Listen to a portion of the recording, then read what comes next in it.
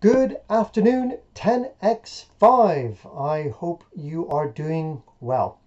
Uh, I know it's Thursday, so you've been back at school for the whole week, but it's the first time I've spoken to you uh, since the end of half term, so welcome back.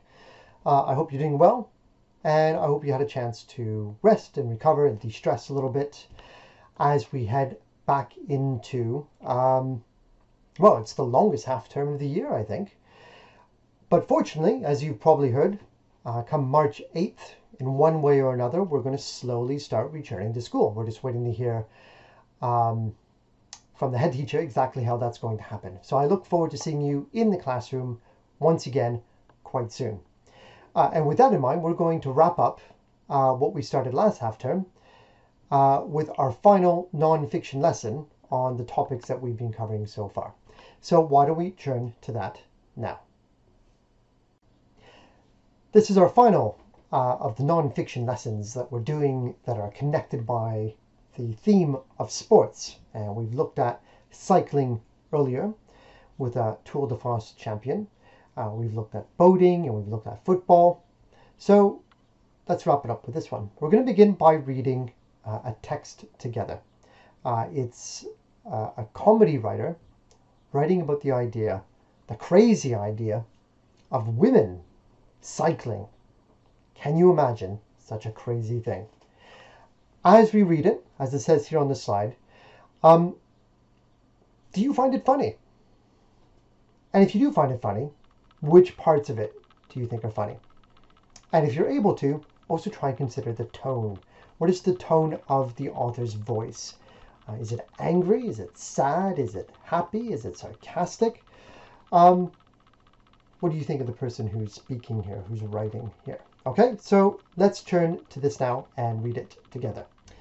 For the reading, please follow the link in the assignment uh, that will bring you to um, my reading of the text. Uh, I apologize for the quality of the scan uh, or copy. Uh, I had to do it with my phone and the lighting wasn't too good, but hopefully you'll be able to follow along as I read it to you. So please do that now before we move on to the next piece of work. Okay, now that we've finished the reading, we can move on to the activities. Uh, the first one is for you to pick out three places where you think the writer, uh, who goes by the name Jerome, is trying to be funny. You might not find it funny, but you should be able to pick out when someone is trying to be funny. I'm sure you've had a teacher stand in front of you and crack a joke, and you know that teacher is trying to be funny and isn't, you know that it's a failed attempt at humor. Well, here with Jerome, is he being funny? Is he trying to be funny? Pick out three places and you can fill it in uh, in the grid. The worksheet will guide you through all this work as well. So let's do activity two now. So this is the grid that I'm asking you to fill in. Do it in as much detail as you can.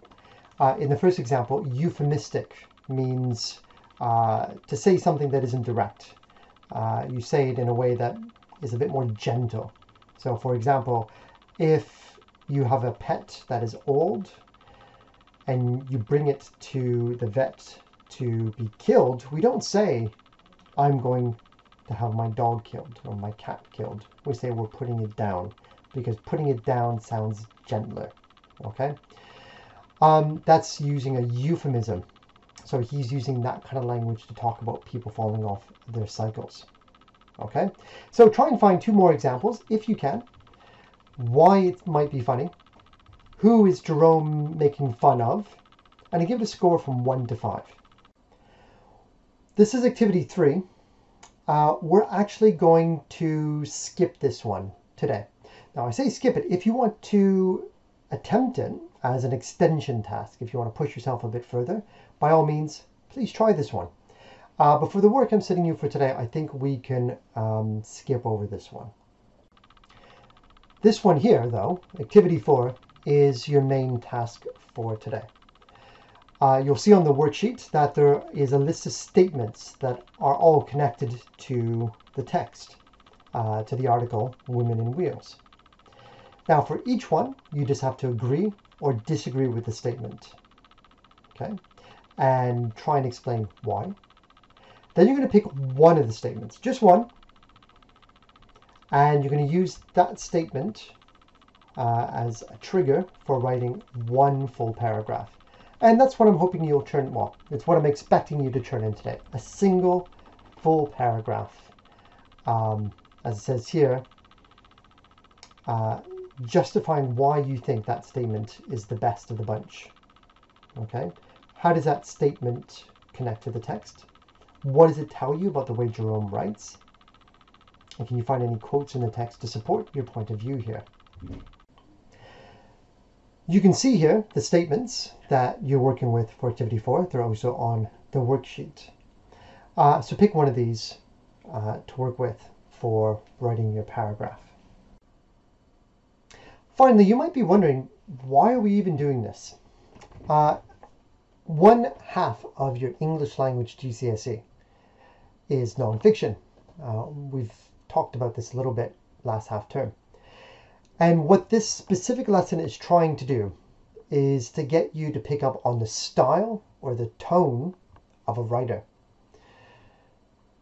It's not necessary to talk about these things when you're doing English language paper two, but those of you who can, who can show that you're aware that a writer is trying to speak with a certain voice, is trying to be uh, angry about something or is making fun of something but in a nice way versus a mean way. Well, if you can write about that, if you can identify that, it raises the quality of your answer. It's definitely a way to get a higher grade, uh, a better mark, because it shows that you've got um, a capacity that you're able to understand what a writer is trying to do. Now, next week, uh, we are going to do a, a, sort of a mini assessment just to zoom in on this nonfiction that we've been studying now for seven lessons, just to see how much of it is sunk in. Um, and so, 10x5, that's your lesson for today. If you have any problems or difficulties, don't hesitate to contact me, send me an email, and I'll try and get back to you. But otherwise, uh, keep healthy, keep safe, and goodbye.